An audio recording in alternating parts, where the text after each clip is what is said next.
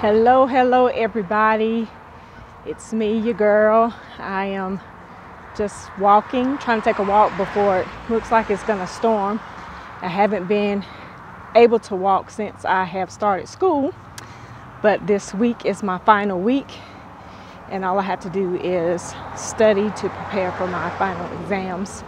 Um, I want to first thank everybody who saw my post about me getting stung with bees that I'm allergic to. My eye was swollen, still is swollen, that's why I have on sunglasses, and also a place on my leg. I went to urgent care on yesterday um, because the medication that I have to normally take it was not uh, doing the job.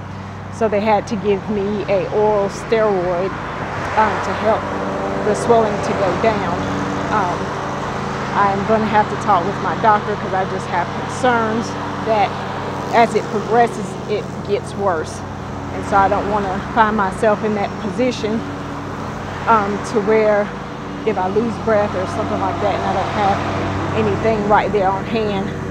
I do believe the power of prayer. I know that I'm covered, but we also have to do everything uh, that is going to help us and protect us also in the long run because our bodies can be fickle at times. Um, but one of the things I was thinking about as I am completing my first semester of school after 20 something years, I decided to go back. Have you ever thought about when you had these bright ideas and then you get right at the beginning of it and you like, what the ham sandwich was I even thinking about? That's how I was when I uh, started studying. Um, and in one class in particular, I wasn't doing too well because many of you who know me, my caseload is long, is big. I have a lot on my plate. I'm getting ready to take some of that off my plate um, as I am going to finish school. Uh, so I had to readjust myself and I was playing a word swipe with one of my friends. And one of the things he said was very profound to me because he always had about 800 coins. And mine, I would use all of my coins because I didn't have patience. I would get frustrated and then I just use my coins so I could go to the next level. But one of the things he said was that sometimes you have to step away and come back so that you'll have a clear perspective. And I was like, huh, that sounds actually biblically, biblical, uh, but let me try it.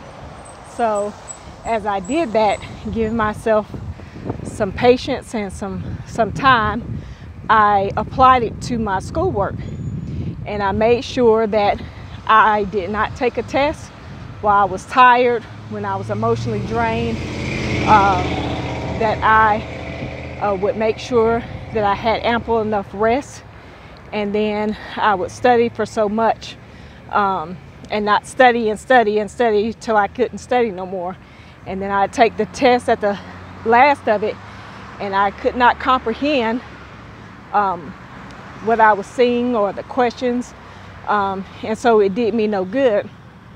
So when I applied that simple principle was stepping back and then come back to it and having a new perspective. So that's what I am encouraging you to do um, within this week, within this next season of your life. There are some things um, that we might have to step back from whether it's for a moment or whether it's for long term, short term, long term goals. That's something I'm also learning in school. Um, but you have to count up the cost of what it's worth, um, not only, not so much to others, but what it's worth to you, um, so that you would be uh, capable of being able to do what God has trusted you and put in your hands to do. Um, so I just want to encourage you in the Lord to just keep going. Don't quit. Um, you know, it's easier to quit when things seems to be at its worst or it seems like it's challenging. Um, it's easy to quit. It's easy to give up. But you find strength and you'll find comfort when you are able to continue to keep going. So don't give up. keep going.